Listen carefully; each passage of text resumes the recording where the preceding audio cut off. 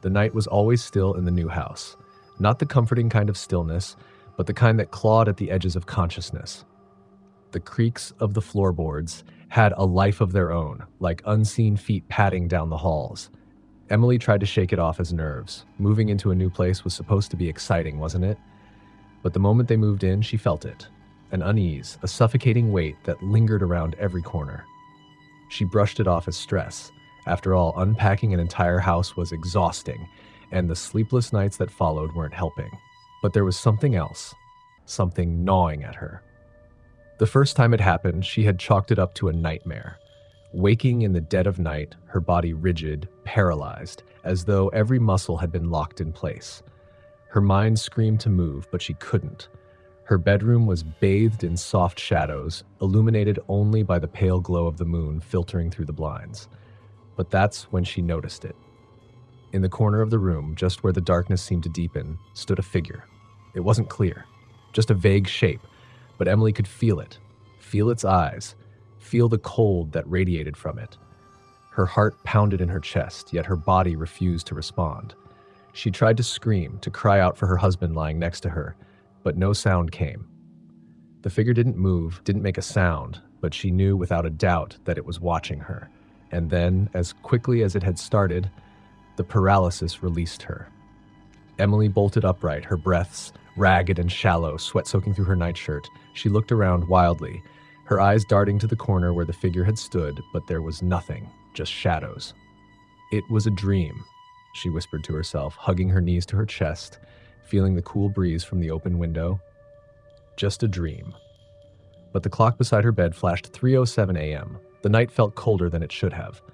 The next few days passed uneventfully. She mentioned nothing to her husband Greg. He wouldn't understand. He was a man of logic, of reason. The house had quirks, he said, but nothing to be afraid of. Emily tried to convince herself he was right. That is until it happened again. A week later at 3 a.m. sharp, the same thing. The same paralysis, the same dark figure. This time it was closer. It stood at the foot of her bed, its shape more defined. She couldn't see a face, only the silhouette, but the air felt thick with malice. She wanted to scream, to thrash, to move, but her body betrayed her. The figure leaned forward slightly, its presence more menacing than before. The clock ticked in the background, marking the passing minutes, until finally, as if snapping out of a trance, her body released. She shot up in bed, gasping for breath, her hands trembling. She looked toward Greg, who slept soundly, oblivious to her terror. She didn't sleep for the rest of the night.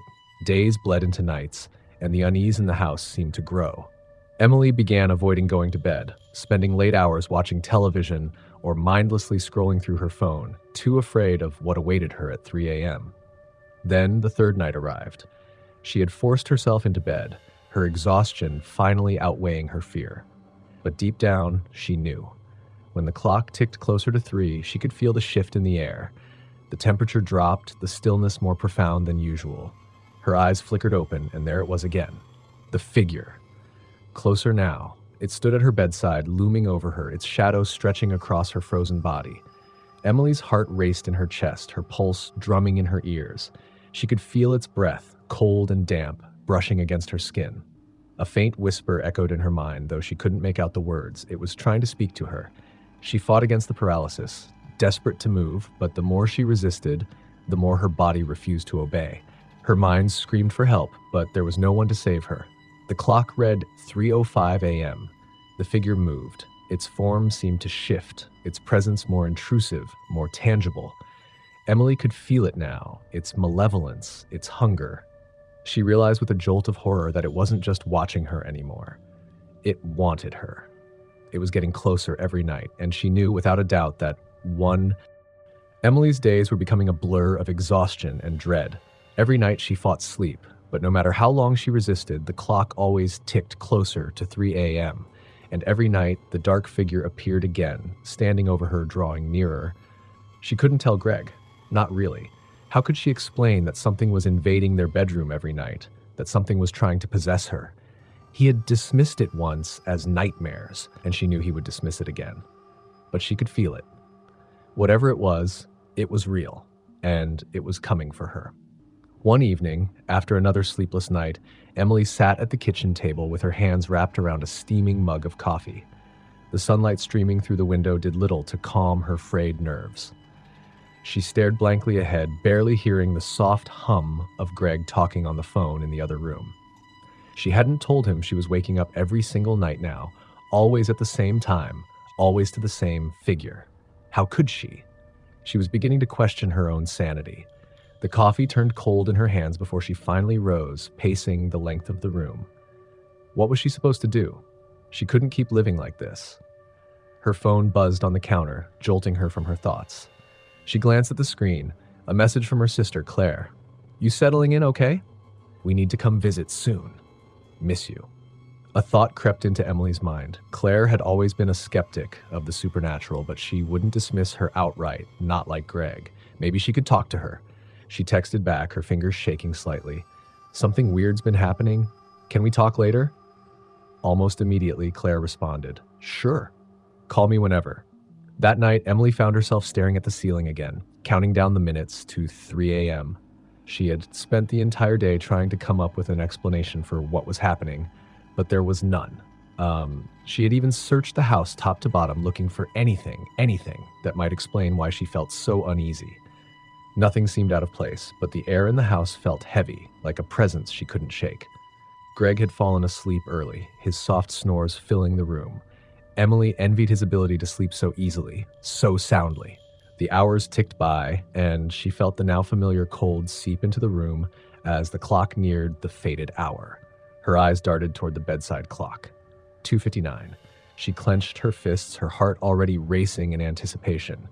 She knew what was coming. Every muscle in her body tensed, but she couldn't move. She couldn't do anything to stop it.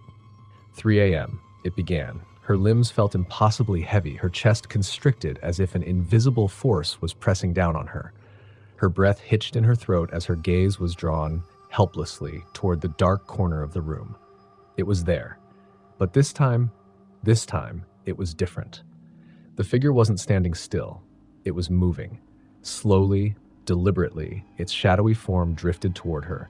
Emily's pulse spiked and she tried to scream, but no sound escaped her lips. The figure stood at the foot of the bed now, and she could feel its presence more than ever before a suffocating, overwhelming pressure, as if the air itself had turned hostile. Her vision blurred as the dark figure seemed to grow taller, its shape distorting, flickering in out of the shadows. Emily's chest tightened painfully, and a new terror gripped her.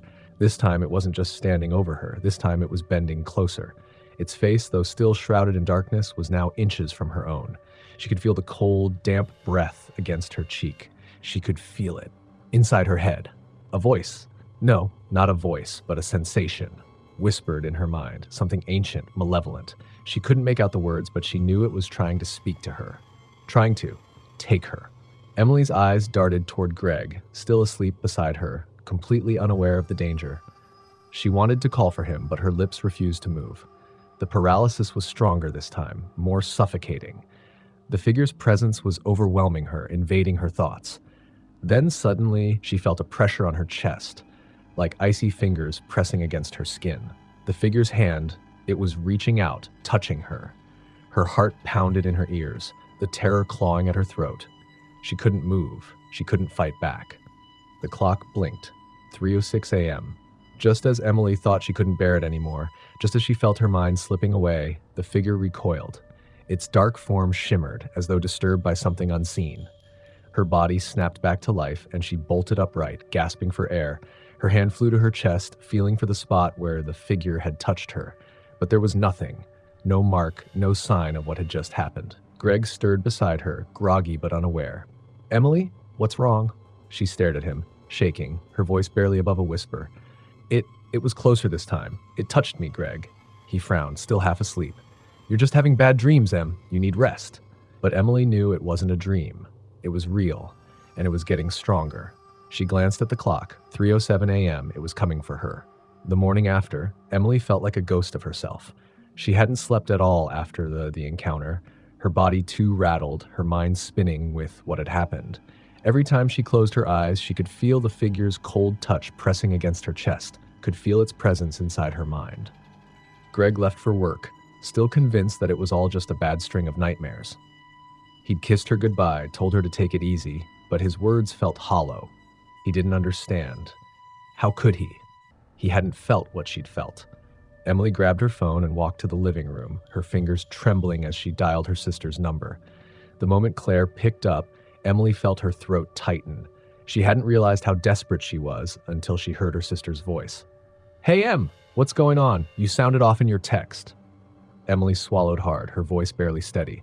Claire, something's wrong. Really wrong. There was a pause on the other end. What do you mean? Did something happen at the house? Emily hesitated, unsure how to even begin. It's been happening at night. I wake up around 3 a.m., but I I can't move. There's this figure, this shadow. It's been standing over me, and last night it touched me, Claire. I could feel it trying to trying to get inside me. The silence that followed was suffocating. Emily could hear Claire processing, probably trying to find the right words.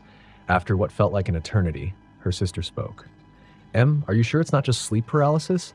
That can cause some really vivid hallucinations. I've read about it. It can feel like there's someone in the room. No. Emily's voice came out sharper than she intended. This isn't some hallucination. This this thing is real, Claire. I know it. Claire's tone softened. Okay, okay, I believe you. But maybe you should talk to someone, like a sleep specialist or Claire, please. Emily's desperation bled through the phone. I need help. I don't know what to do. A long pause followed before Claire finally spoke again. Look, why don't I come over? I can stay the night and we'll figure this out together. Maybe I'll see something too. Emily felt a surge of relief. Yes, please, just. I can't do this alone. Okay, I'll be there tonight, Claire promised. We'll get through this, Em. That evening, the sun dipped behind the horizon, casting long shadows across the house.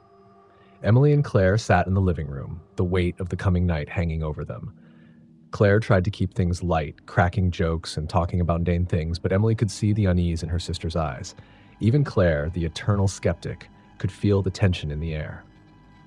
They stayed up late, waiting for the dreaded hour. Emily felt a gnawing anxiety build in her chest as the minutes slipped away. Greg had gone to bed hours ago, none the wiser, leaving the two sisters alone to face whatever was coming. At 2:45 a.m., Emily couldn't sit still any longer. She paced the living room, wringing her hands. Claire watched her silently, her expression a mix of concern and confusion. Do you really think it'll happen again tonight? Claire asked, her voice quiet. Emily stopped pacing and turned to her, eyes wide. It always happens, every night. The clock struck 3 a.m., and it began. Emily's body froze in place, her breath hitched, her muscles locking in an all too familiar paralysis. She tried to speak, to warn Claire, but her throat wouldn't cooperate. It was happening, just like every other night, only this time she wasn't alone. Claire shot up from the couch, alarmed. Emily? What's wrong? But Emily couldn't respond. Her eyes darted wildly, trying to look around the room. She could feel it. The figure was there, the air in the room growing heavier, colder. Claire stepped toward her, her eyes wide with confusion. Emily, you're scaring me. Say something. But then Claire's expression changed. Her eyes flicked to the corner of the room where the shadows seemed to be gathering, twisting unnaturally. Her face paled. She saw it. Claire saw the figure too. Oh my god, Claire whispered, stepping back. What what is that? The shadow moved, coiling itself like a living thing. Emily's heart pounded in her chest, terror clawing at her insides. The figure was moving again, stepping out from the corner, its dark form more solid, more menacing. Claire let out a small, involuntary gasp. The figure was closer than ever before. It stood right beside Emily now, towering over her, its face still obscured by darkness. Claire rushed toward Emily, her hands shaking as she grabbed her shoulders. Emily, please, just move. But Emily couldn't. The figure leaned in, its cold presence suffocating her. She could feel its breath against her neck, the same damp, icy sensation that had haunted her every night. Her vision blurred, and she felt her mind slipping, being pulled into the dark void where the figure dwelled. Emily? No, Claire screamed, shaking her sister violently, trying to pull her free from whatever was holding her. And then, in a sudden rush, the figure vanished. The shadows dispersed as if they had never been there.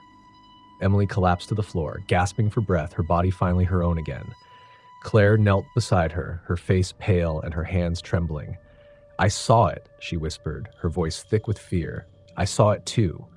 Emily looked up at her, her breath ragged. It's getting closer, she choked out. It's trying to take me. Claire stared at her in horror, realization dawning on her face. We have to stop it, Em. We have to stop it before it takes you. But how? The morning after Claire witnessed the figure, the weight of what had happened pressed heavily on both sisters. The house, once merely unsettling, now felt oppressive. Every corner seemed to hide some lurking shadow, every creak of the floorboards a reminder of the dark presence that had nearly claimed Emily the night before. Claire paced back and forth in the kitchen, her coffee untouched. I don't understand it. I thought this was all in your head, Em, but I saw it. I felt it. That thing, whatever it is, it's real. Emily sat at the table, her hands wrapped tightly around the mug in front of her, though she hadn't taken a sip. She looked drained, her eyes hollow from the weeks of restless nights. I told you, it's been getting closer every night. It's not just some hallucination, it's trying to take me.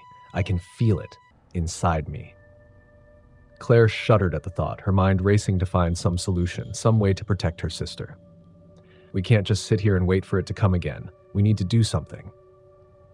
But what? I've tried everything. Greg thinks I'm just having nightmares. I even thought about seeing a doctor, but what can they do for something like this? Emily's voice was thick with frustration and fear. Claire stood still for a moment, deep in thought. There's got to be something we're missing. Maybe this house, maybe it's the house itself. Emily looked up, her brow furrowed. What do you mean? Claire grabbed her phone, her fingers flying across the screen. I'm going to look into this place. Maybe something happened here before you moved in. Maybe that thing is connected to the house. There has to be a reason it's only happening to you since you got here. Emily nodded weakly, a small spark of hope kindling inside her. If there's something, anything, we have to find it. I can't survive another night like this. For the rest of the day, the two sisters worked in silence, scouring the internet for any information they could find about the house, its previous owners, or any strange occurrences. Hours passed, the sun beginning to set outside, casting long shadows across the room as the tension built. Finally, Claire gasped, her eyes wide as she stared at her screen. I found something. Emily rushed to her side. What is it? Claire hesitated, her voice low as she began to read. The house was owned by a couple about 15 years ago a man and a woman. They seemed normal, but according to some old newspaper clippings, the wife began to suffer from some condition. The neighbors said she would wake up in the middle of the night screaming about a dark figure standing over her. They thought she was losing her mind, and then one night she disappeared. Emily's breath caught in her throat. Disappeared? What happened to her? Claire scrolled down further. No one knows. The husband claimed he woke up one morning and she was just gone. The police never found any evidence of foul play, but rumors spread that something had happened in the house, something supernatural. Emily's hands shook as she processed what Claire was saying. That can't be a coincidence. She was going through the same thing I am, and then she vanished. Claire nodded grimly. It sounds exactly like what's been happening to you. But if she didn't make it, Em, we need to find a way to stop this before it gets you too. Emily's stomach twisted with fear. Every part of her wanted to run, to leave the house and never look back. But something deep inside told her it wouldn't be that easy. The figure wasn't just tied to the house anymore, it had latched onto her. Leaving wouldn't change that. As the night approached, they prepared as best they could. Claire insisted on staying up with Emily, refusing to let her face the dark alone. They moved into the living room, both too afraid to sleep in the bedroom where the figure had first appeared. The clock ticked closer to 3 a.m., and the air grew thick with tension. The house seemed to hold its breath, as if waiting for what was to come. Emily's heart raced in her chest, her palms clammy as she clung to the blanket draped over her shoulders. Claire sat beside her, a protective hand on her knee, both of them silently dreading the inevitable. 258. 259. The atmosphere in the room shifted. The temperature dropped suddenly, the warmth from the fireplace all but disappearing. Emily's body tensed as the familiar paralysis took hold, her muscles locking into place. Claire looked at her with wide, panicked eyes. Emily? No, not again. Claire shook her sister, but Emily couldn't respond. Her eyes flicked wildly around the room, searching for the figure. She knew it was there. She could feel it. The clock hit 3 a.m., and the figure appeared. This time, it didn't waste any time lurking in the shadows. The dark silhouette materialized in the center of the room, more solid, more real than ever before. Its shape loomed over them, a towering mass of darkness that radiated cold and malice. Claire's breath caught in her throat. Oh my god, it's here. Emily's eyes were wide with terror as the figure moved closer. It was no longer content to stand and watch. It was reaching for her, its long, shadowy arms stretching toward her body. She could feel its pull, the deep, suffocating sensation of being drawn into its void. Claire. Emily's mind screamed, though her lips remained frozen in place. Claire, acting on instinct, grabbed a candle from the nearby mantel and thrust it toward the figure. The light from the flame flickered wildly, but it didn't touch the dark mass. The figure remained, undeterred, inching closer. Claire's voice cracked as she yelled, No, you can't have her! But the figure moved with a single minded purpose, reaching for Emily with its dark, icy tendrils. She felt it again the cold breath, the oppressive weight. It was wrapping itself around her, pulling her deeper into the darkness. This time she couldn't escape. The clock read 3:05 a.m. The figure's touch was ice cold, and Emily could feel her mind slipping away, a deep sense of dread overwhelming her. It was taking her just as it had taken the woman before her. There was no stopping it, Claire screamed, her voice piercing the darkness. Emily, no! The room trembled, the figure recoiling slightly as the sound of Claire's voice echoed through the house. The tremor that shook the house after Claire's scream seemed to ripple through the very foundation. The figure hesitated, its dark form wavering, almost as if it had been startled by the defiance in Claire's voice. Emily, still locked in paralysis, could feel the oppressive force loosening its grip ever so slightly. The icy tendrils that had begun to wrap around her recoiled, retreating for a moment, but the dark figure wasn't done. Claire's heart raced as she watched the shadow pull back, and for the first time since this nightmare began, she felt something shift hope. She didn't know what was happening, but she had rattled the thing, even if just for a second. It wasn't invincible. She grabbed Emily's hand, squeezing tightly. Em, stay with me. Don't let it take you. Emily's eyes flicked toward her sister, desperation written all over her face. She couldn't move, couldn't speak, but the presence of Claire beside her, the sheer will in her voice, gave her a sliver of strength. The figure shifted again, regaining its form, its towering shadow darkening the room. The temperature dropped once more, the air thickening as it advanced. But Claire wasn't backing down. We're not letting you have her, Claire screamed, her voice raw, her grip on Emily's hand tightening, as if she could hold her sister back from the abyss by force alone. The dark figure paused, as though considering Claire's defiance. Then, slowly, it extended a single, elongated hand toward Claire. The air around her turned frigid, her breath fogging in front of her face. For a moment, she felt the cold fingers of the figure press against her skin, the same icy dread that had gripped Emily now passing through her body. It was as if it was trying to make a choice whether to take her instead. Claire's mind raced. If the figure could be affected by her voice, maybe there was something more she could do, something that could banish it for good. Her eyes darted to the living room table where her phone sat. She remembered the research she'd been doing earlier, specifically about the old couple who had lived here before. The articles hadn't just mentioned the woman's disappearance, they'd mentioned whispers of an ancient ritual, something tied to the land, to the house. Claire lunged for the phone, her fingers flying across the screen as she pulled up the article. Her hands trembled as she read it again, faster this time, searching for the detail she had overlooked in her panic. The figure moved closer again, the oppressive darkness folding in on itself, inching toward Emily. The room felt like it was shrinking, the air thick with malevolence. Emily was shaking uncontrollably, her eyes wide with terror as the figure's shadow loomed over her, ready to claim her once and for all. Claire found the passage she had missed. The house was rumored to have been built on cursed land. Some say the original owners, in a desperate attempt to protect themselves from the spirits tied to the land, performed a ritual of banishment. It required fire, iron, and the force of will to sever the connection to the darkness. Claire's eyes widened. Fire. Iron force of will. That was it. She didn't have much time. The figure was closing in, and Emily was slipping further into the paralysis with every passing second. Claire's mind raced as she tore through the living room, searching for something, anything, that could act as iron. Finally, in the kitchen, she spotted an old cast iron skillet hanging above the stove. She grabbed it and hurried back into the living room, where the figure had nearly enveloped Emily completely. It was now standing directly over her, its hand reaching for her face, and the air was filled with a deep rumbling sound like the groaning of ancient stone. Claire's pulse thundered in her ears as she lit a candle, holding it in one hand while gripping the heavy skillet in the other. You're not taking her! Claire screamed, her voice trembling but fierce. She shoved the candle toward the figure, the flame flickering wildly but not going out. Leave her alone. The figure seemed to pause for a moment, as if acknowledging Claire's resistance. But then it pressed on, the darkness swirling in an almost predatory way, consuming the space between it and Emily. With a surge of adrenaline, Claire thrust the cast iron skillet into the figure's path, the iron glowing faintly in the dim candlelight.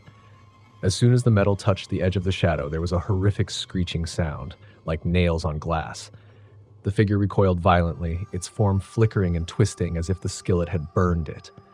Emily gasped, the air rushing back into her lungs as the dark pressure around her suddenly lifted.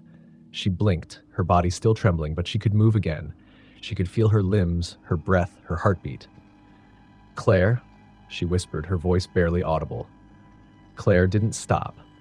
She swung the skillet again, the iron cutting through the darkness like a weapon. You're not welcome here, she shouted, her voice breaking with emotion. This is our home, not yours. The figure writhed, its form distorting, the shadows flickering like a dying flame. It let out a low, guttural sound, almost like a growl, before the darkness began to dissipate, pulling back from Emily and retreating into the corners of the room. The temperature slowly began to rise again, the air lightening as the figure shrank away, its presence growing weaker with each passing second. Claire stood her ground, clutching the skillet, her breath ragged. She watched as the last of the shadow flickered and vanished into the walls, leaving the room eerily quiet. Emily collapsed into Claire's arms, her body shaking as tears streamed down her face. It's gone, she whispered, her voice thick with relief and exhaustion. It's finally gone. Claire held her tight, her own heart pounding in her chest. I don't know if it's gone for good, but whatever it was, we fought it off. They stayed like that for what felt like hours, the weight of what they had just survived hanging in the air. The house, now quiet and still, no longer felt like a prison. There was peace, however fragile, in the space between them. The next day, Emily and Greg packed up and left the house for good. They didn't need to explain much to the real estate agent, just that they were moving somewhere new. Claire helped them move, her presence a constant reminder of the battle they had won together. As they drove away, Emily looked back at the house one last time, watching it grow smaller in the rearview mirror. A shiver ran down her spine, but she couldn't help but feel that whatever had been haunting her, whatever had been trying to take her, had finally been defeated. But deep down in a part of her mind she tried to ignore, Emily couldn't shake the feeling that the darkness wasn't truly gone. It was just waiting for someone else. Story number two. The wind howled through the trees like a banshee's wail its sharp fingers scraping against the old farmhouse's shutters. Lisa stood at the window, watching the dark sky churn above the tree line, feeling uneasy for reasons she couldn't quite name. The house was theirs, finally. After years of saving, dreaming, and planning, they had found this place, a fixer upper in the countryside, far from the clamor of the city. It was perfect, or so they thought. Michael? Lisa called out to her husband, her voice barely audible over the whistling wind. In the kitchen, he responded, his voice muffled from the other room. He was unpacking the last of their belongings, setting up the few appliances they had brought with them. Lisa turned from the window and tried to shake off the feeling gnawing at the back of her mind.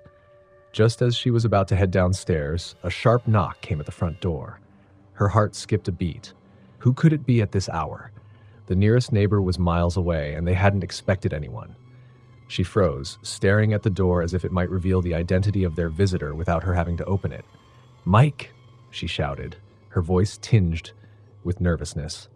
There's someone at the door. Michael emerged from the kitchen, wiping his hands on a towel. He glanced at Lisa before approaching the door. He hesitated for a second, looking through the peephole. Then, without a word, he opened it. A man stood on the porch, drenched from the rain, but smiling politely. He was older, maybe in his late 60s, with silver hair neatly combed back and a gray suit that looked strangely out of time. He held a cane, though he didn't seem to need it for support. Good evening, the man said, his voice smooth and calm, though there was something unsettling in its tone. I hope I'm not intruding. My name is Robert Caldwell. I believe I'm the original owner of this house. Lisa and Michael exchanged confused glances. They had bought the property from a bank. The previous owner had long since defaulted, and there hadn't been any mention of the original owner still being alive.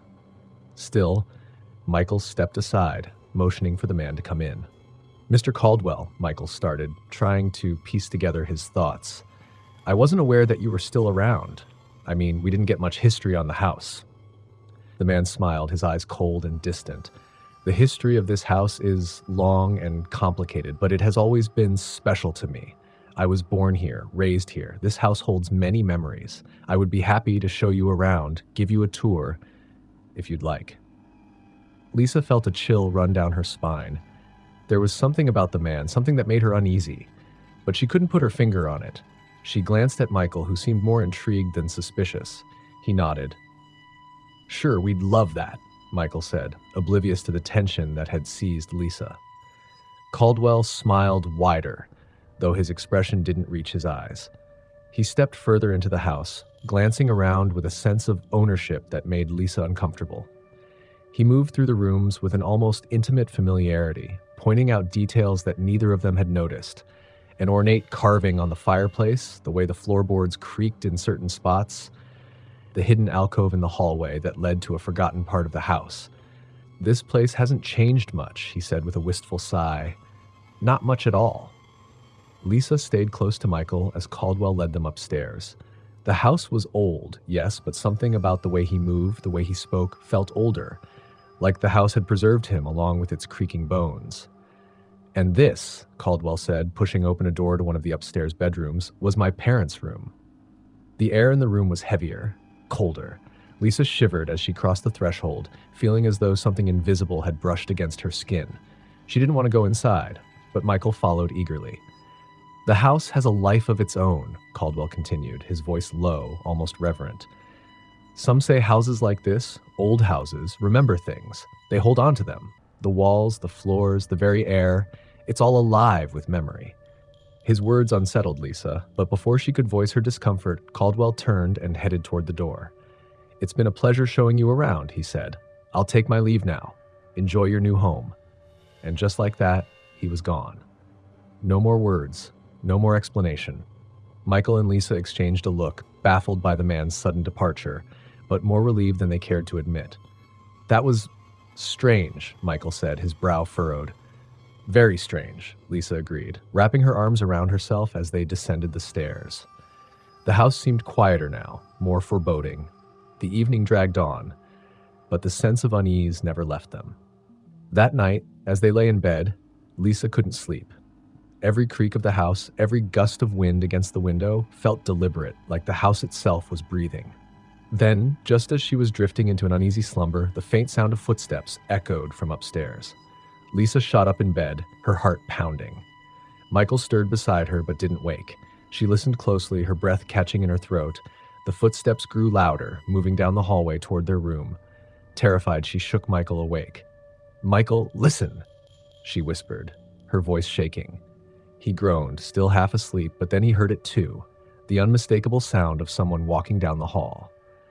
Michael grabbed the bedside lamp and stood, his face pale. He opened the bedroom door cautiously, peering into the dark hallway. There was no one there. But the footsteps continued, fading down the hall toward the room Robert Caldwell had shown them, the room that had belonged to his parents. That doesn't make any sense, Michael muttered, stepping into the hallway. No one else is here.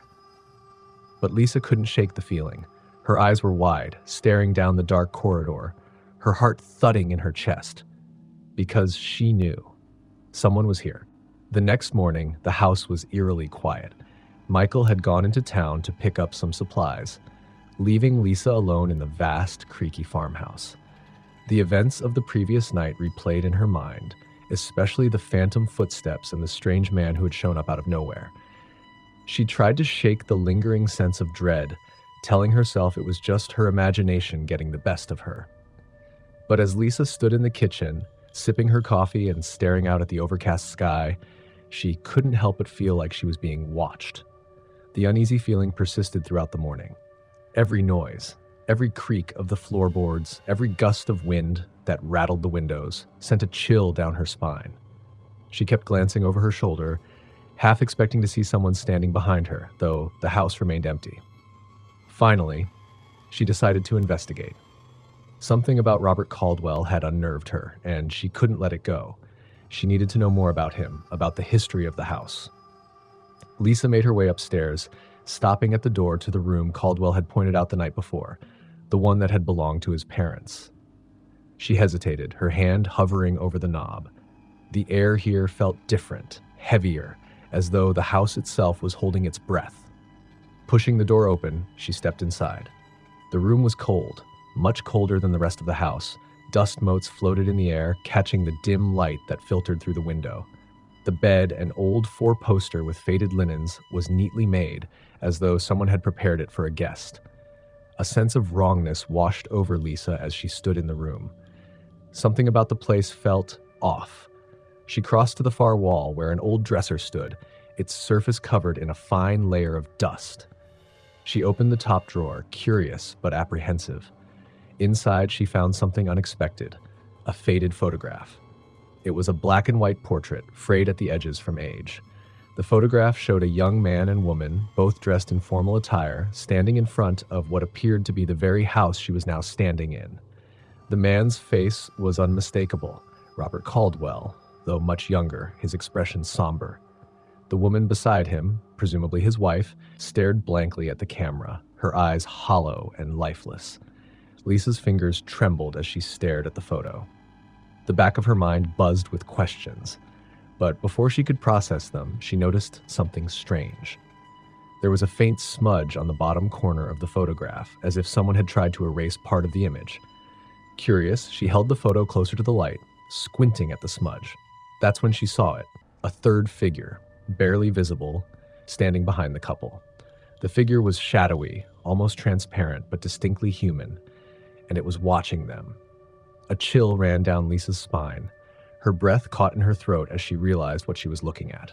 Suddenly, a loud crash came from downstairs, shattering the tense silence. Lisa jumped, her heart racing. She dropped the photograph and rushed to the door, peering down the hallway. Michael? She called, but there was no response. She descended the stairs cautiously, her every nerve on edge. As she reached the bottom, she noticed that the front door had swung open, banging against the wall in the wind. The sky outside had darkened, heavy clouds rolling in. Lisa frowned. Michael hadn't returned yet, and she was certain she had locked the door after him. She moved to close it, but before she could, she heard the unmistakable sound of footsteps behind her. Her body went rigid. She didn't dare turn around. The footsteps grew louder, closer. She squeezed her eyes shut, her breath coming in shallow gasps. For a brief moment, the air around her felt electric, charged with a presence she couldn't see. Then, just as suddenly as they had started, the footsteps stopped. Slowly, cautiously, Lisa opened her eyes and turned. The hallway was empty. She exhaled shakily and shut the front door, locking it with trembling hands. The house had grown unnervingly still again, the silence pressing in on her from all sides. She was about to head upstairs when the sound of a voice drifted from the living room. Welcome home, it whispered. Lisa froze, her heart leaping into her throat. She turned toward the living room, her pulse pounding in her ears. The voice had been soft, barely audible, but she had heard it. She took a hesitant step toward the room, her hand clutching the banister for support. The living room was dim, the curtains half drawn, casting long shadows across the furniture. Who's there? she called, her voice trembling. For a long moment, there was no answer.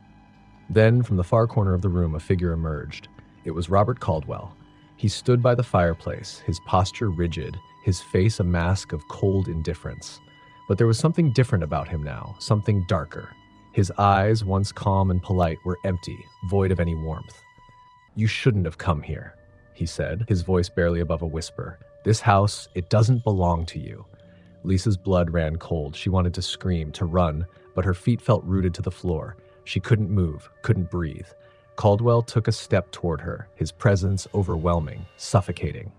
Leave, he said, his voice growing more menacing, before it's too late. Then, just as he had the night before, he vanished. One moment he was there, the next, he was gone, leaving nothing but an oppressive silence in his wake. Lisa stood frozen, her heart hammering in her chest. Her mind raced with fear and confusion. What was happening in this house? Who or what was Robert Caldwell? She had no time to ponder. The front door burst open again, slamming against the wall with a deafening bang. This time, Lisa didn't hesitate. She grabbed her phone from the counter and bolted out of the house, her footsteps pounding against the gravel driveway.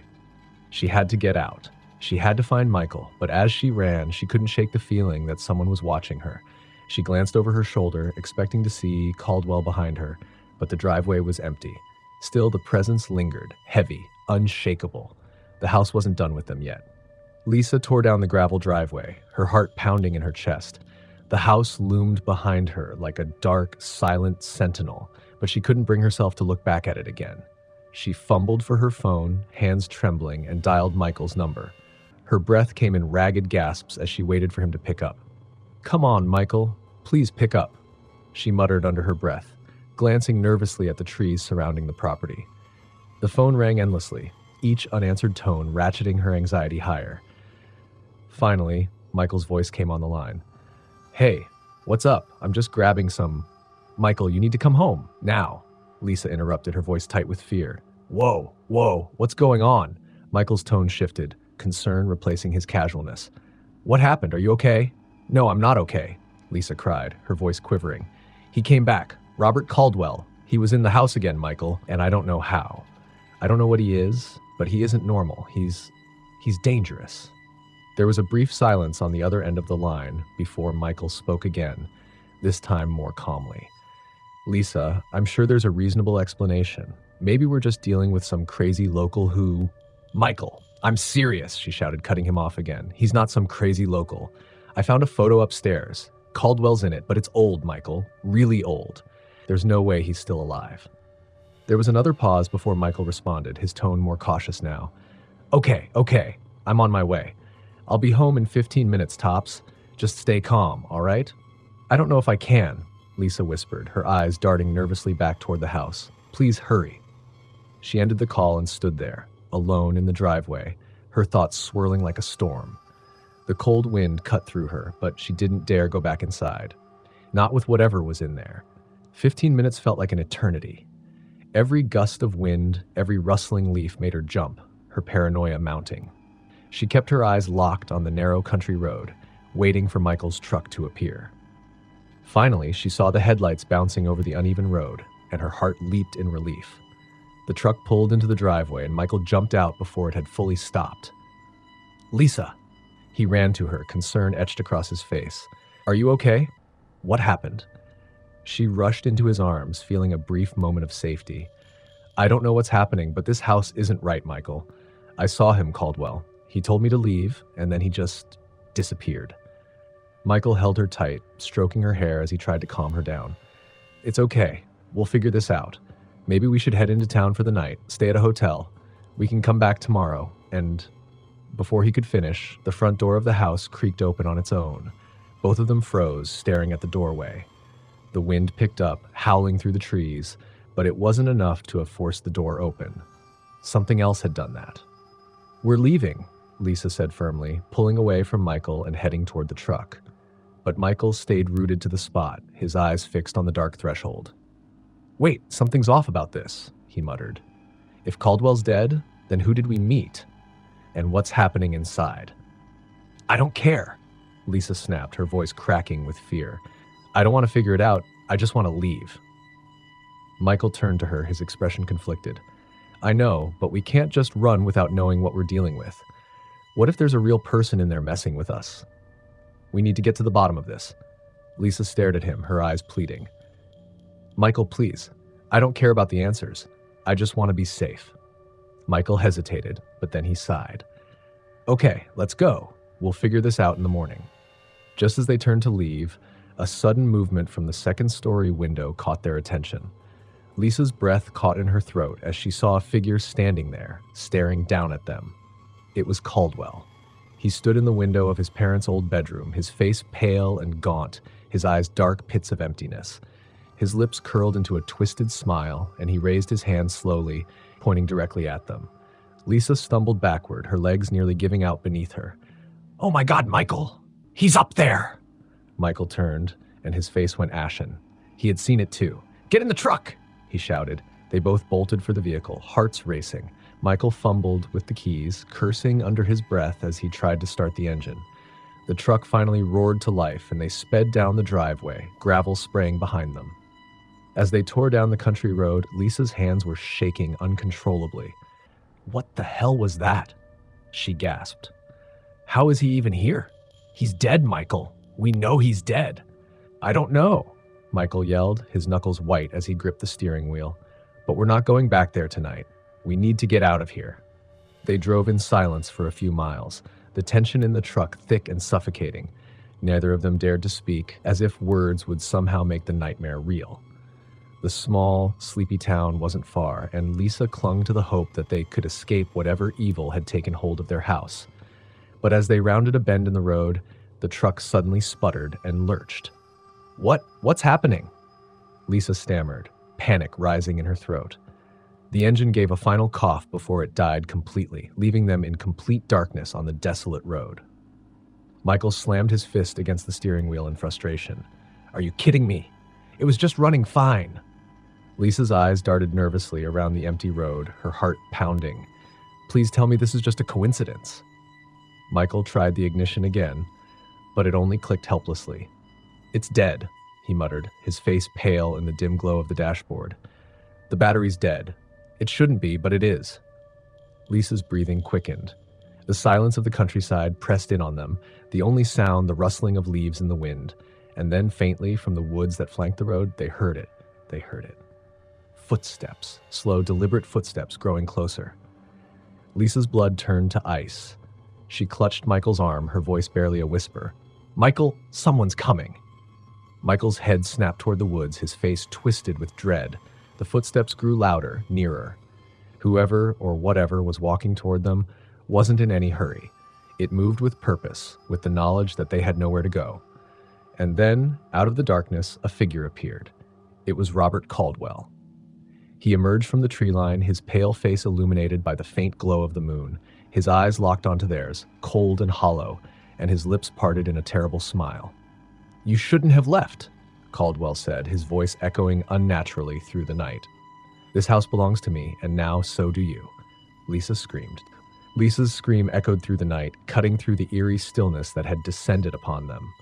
Michael grabbed her arm, pulling her close as they both sat frozen in the truck, staring at Robert Caldwell as he stood motionless in the middle of the road. His presence was wrong, unnatural, the air around him seemed to pulse with something dark and suffocating, something ancient. Michael's heart pounded in his chest. We need to run. Now. He shoved the truck door open, yanking Lisa out with him, and together they bolted into the woods. The trees loomed around them, their branches clawing at the sky as they ran, their footsteps crashing through the underbrush. Lisa's breaths came in ragged gasps, and her legs felt like lead, but she didn't dare stop. Behind them, Caldwell's slow, deliberate footsteps followed, unhurried but relentless, as if he knew they couldn't escape him. He's coming, Lisa panted, glancing over her shoulder. The sight of Caldwell's pale figure moving through the trees sent fresh terror surging through her. Keep going, Michael urged, gripping her hand tightly. They pushed deeper into the woods, weaving between trees, branches whipping against their faces. But no matter how fast they ran, the footsteps never stopped. It was as if Caldwell was always just behind them, keeping pace effortlessly, his gaze boring into their backs. The night closed in around them, the air thick with the smell of damp earth and rotting leaves. Lisa's mind raced, filled with frantic thoughts. How was this happening? How could he follow them like this? So calmly, so confidently, as though he owned not just the house, but the very ground they ran on. Finally, they stumbled upon a small clearing, breathless and exhausted. Michael doubled over, hands on his knees, trying to catch his breath. Lisa leaned against a tree, her whole body trembling. I, I think we lost him. Michael gasped, though he didn't sound convinced. The woods were deathly silent now, the only sound their ragged breathing. Lisa shook her head, eyes wide. He's not human, Michael. There's no way. He'll never stop. Michael straightened, his jaw tight. We'll find help. There has to be someone nearby. Before Lisa could respond, a familiar sound filled the clearing. Footsteps, slow, measured footsteps, crunching through the underbrush. Lisa's stomach dropped. She spun around, searching the darkness. The trees shifted in the wind, their branches creaking, but Caldwell's face was nowhere to be seen. Do you hear that? She whispered, her voice trembling. Michael nodded grimly. We have to keep moving. Just as they turned to leave the clearing, a voice rang out from the shadows, low and menacing. You can't run from me. This place is mine. The voice wasn't coming from behind them, it was ahead. Michael grabbed Lisa's arm, pulling her behind him as he searched the darkness. Where is he? He hissed, his voice tight with panic. The trees seemed to close in around them, the shadows deepening. Lisa felt a cold dread seep into her bones. Michael, we're trapped. A flicker of movement caught their attention. Caldwell stepped out from behind a tree, his dark eyes fixed on them, that same twisted smile playing on his lips. He looked almost amused by their attempts to escape, as though this was nothing more than a game to him. I told you, Caldwell said, his voice soft and hollow. This house, this land, it belongs to me, and you're not leaving. Michael lunged forward, desperate to stop him, but as he closed the distance, Caldwell simply disappeared. One moment he was there, the next he was gone, leaving only a cold emptiness in the space where he had stood. Michael stumbled to a halt, spinning around wildly. Where the hell did he go? Lisa backed away, her pulse racing. We need to get out of these woods. Now. They took off again, racing through the dense trees. Lisa's thoughts raced alongside her, every instinct screaming that they were running in circles, that no matter where they went, Caldwell would always be one step ahead of them. She could feel it, an unseen force pressing down on them, tightening around them like a noose. Finally, after what felt like hours, they broke through the trees and into an open field. In the distance, the faint glow of a farmhouse appeared, its lights flickering in the night. Look, a house! Lisa gasped, pointing. Michael nodded, his eyes wide with hope. Maybe someone's there. Come on. They sprinted across the field, the grass wet and slippery beneath their feet. As they neared the house, the front door swung open, revealing a figure standing in the doorway. Help us, Lisa cried, her voice breaking with desperation. Please help us. But as they got closer, the figure stepped into the light, and Lisa's heart stopped. It was Robert Caldwell. He stood on the porch, his pale face expressionless, his dark eyes boring into theirs. Welcome home, he said softly. Lisa skidded to a halt, her breath catching in her throat. No, no, this can't be happening. Michael grabbed her arm, pulling her back. It's not real, Lisa. None of this is real. But as they turned to run, something even more horrifying stopped them in their tracks. The landscape around them was changing. The trees warped and twisted, the sky darkened, and the field they had just crossed dissolved into nothingness. The world seemed to fold in on itself, pulling them back toward the house like a nightmare they couldn't escape. Lisa's knees buckled as she watched in terror. Michael, what's happening? Michael held her tightly, his own fear barely contained. It's him. He's controlling everything. Caldwell stepped off the porch, his presence filling the air with an oppressive weight. You should have listened. You should have left when you had the chance. But now, you're mine. Lisa felt the world spin, her vision blurring as the force around them tightened. The farmhouse, the trees, everything began to flicker and fade, as though reality itself was crumbling away. Michael looked into her eyes, desperation etched across his face. We can still get out. We just need to. Before he could finish, the ground beneath them gave way and they plunged into darkness. Lisa screamed, the sensation of falling overwhelming her. She reached for Michael, but her fingers slipped through empty air. The darkness swallowed her whole, her mind spiraling into chaos. And then, just as suddenly, everything stopped. Lisa found herself standing in the foyer of their house, the house they had just fled. She spun around, disoriented, her heart hammering in her chest. Michael was beside her, equally bewildered. How, how do we get back here? Lisa whispered, her voice trembling. The front door creaked open and Robert Caldwell stepped inside. I told you, he said, his voice cold and final. This house is mine. And then the door slammed shut. The slam of the front door echoed through the house like the final toll of a bell sealing their fate. Lisa's breath hitched in her throat as she stood frozen in the foyer, staring at Robert Caldwell. His cold, dead eyes locked onto hers, and the weight of his presence pressed down on her like a suffocating blanket. Michael grabbed Lisa's arm, pulling her toward the stairs. We can't stay here. We have to find a way out. But as they turned to run, the house seemed to shift around them. The walls groaned, the floorboards beneath their feet creaked and buckled. The hallway that led to the kitchen twisted impossibly, stretching into darkness, as though the house itself was alive and determined to trap them. This place, it's not real, Michael muttered, his voice tight with fear. None of it's real. Then why does it feel so real? Lisa whispered, her heart pounding in her chest. Behind them, Caldwell's voice drifted through the air, soft and menacing. You can't escape. There's no point in running. The words sent a shiver down Lisa's spine, and she spun to face him. What do you want? Why are you doing this to us? Caldwell's expression remained blank, his pale face emotionless. This house is mine. It has always been mine, and those who enter it belong to me.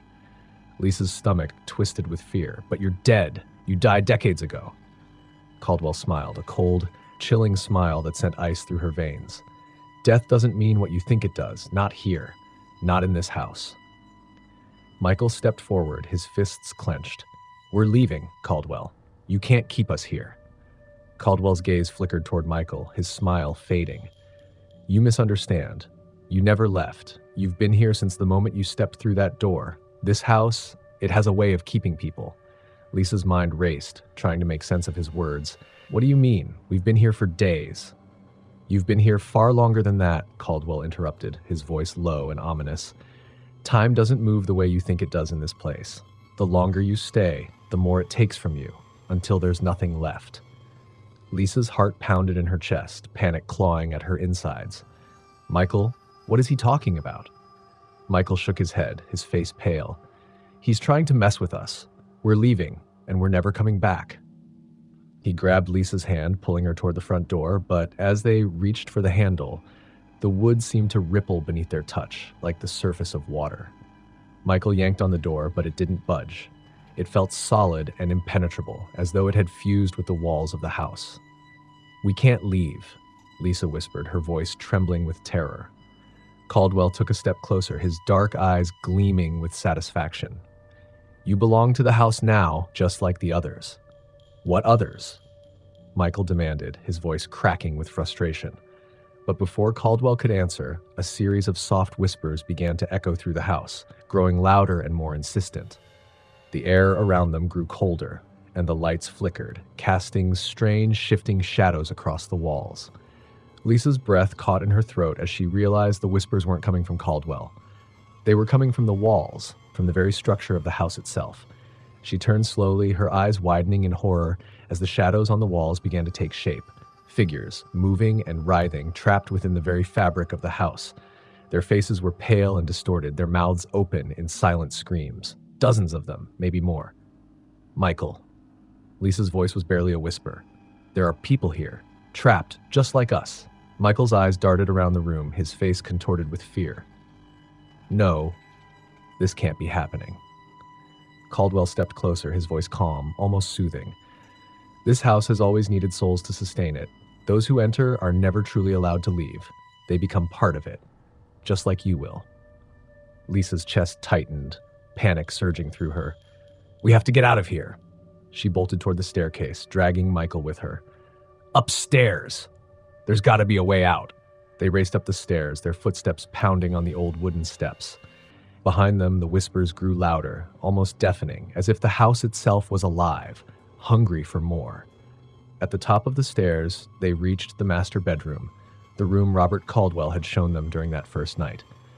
Lisa pushed the door open, her breath coming in shallow gasps. The room was dark and cold, just as it had been before. But something was different now. The air felt heavier, charged with an unseen force. Michael rushed to the window, knife trying to pry it open. It's locked! None of them open. Lisa paced frantically, her mind spinning. There has to be a way out. There has to be. Suddenly, she stopped, her eyes falling on the old mirror hanging on the wall, the same mirror Robert Caldwell had stood beside that first night. The reflection in the mirror wasn't her own. Instead, she saw Robert Caldwell standing behind her, his face inches from hers. But it wasn't just him. The figures they had seen on the walls, the trapped souls, were now in the mirror, their faces twisted in agony, reaching out toward her. Lisa screamed and stumbled back, grabbing Michael's arm. The mirror! It's them! They're in the mirror! Michael turned, his eyes wide with horror. What the hell is this place? The room seemed to pulse around them, the walls warping and twisting as though the house was closing in on them, tightening its grip. The whispering voices grew louder, more urgent, filling their minds with incoherent, desperate pleas. And then from the shadows, Robert Caldwell appeared again, standing in the doorway. His eyes were darker than ever, his smile gone. There's no escape. You belong to the house now. Lisa's heart pounded in her chest. This was it. They were trapped. There was no way out. But then something strange happened. The figures in the mirror, the trapped souls, they began to move, their ghostly hands pressing against the glass. For a moment, Lisa felt a flicker of hope. Michael, look! The souls in the mirror pushed harder, their faces straining with effort. And then the mirror began to crack. What's happening? Michael asked, stepping closer to the mirror. The cracks spread across the glass, spiderwebbing out until the entire surface was shattered. With a deafening crash, the mirror exploded, sending shards of glass flying across the room. For a moment, the air was still, silent. Then, from the shattered remains of the mirror, a wave of icy air swept through the room, and the trapped souls emerged, swirling around Robert Caldwell like a raging storm. Caldwell's face twisted in fury, his hands reaching out as though to fight them off, but it was too late. The souls descended upon him, pulling him into the shadows, their voices rising in a chorus of angry whispers. Caldwell's figure flickered and faded, his form dissolving into the darkness. And then he was gone. The house fell silent. The walls stopped groaning, the air grew still, and the oppressive weight that had hung over them lifted. Lisa collapsed to the floor, her heart pounding in her chest. Is. is it over? Michael knelt beside her, his face pale. I don't know, but he's gone. They both stared at the shattered remains of the mirror, the room now eerily quiet. Whatever had happened, whatever those souls had done, they had freed them. Somehow, they had escaped the house's grasp. Lisa glanced toward the window and was startled to see the morning light filtering through the curtains. The nightmarish darkness that had surrounded the house was gone, replaced by the soft glow of dawn. We're free, she whispered, hardly daring to believe it. Michael stood and offered his hand to Lisa, helping her to her feet. They walked cautiously to the window, and this time it opened easily. The fresh morning air rushed in, cool and cleansing. They had made it. They were free. As they descended the stairs, the house felt different. Empty, quiet. The whispers were gone. The house had released them. When they reached the front door, it opened without resistance. Together, they stepped outside, the weight of the past few days lifting from their shoulders. But as they walked down the driveway, Lisa couldn't help but glance at Glack one last time. The house stood there, silent and still, its windows dark and empty. And in one of those windows, she could have sworn she saw a shadow move.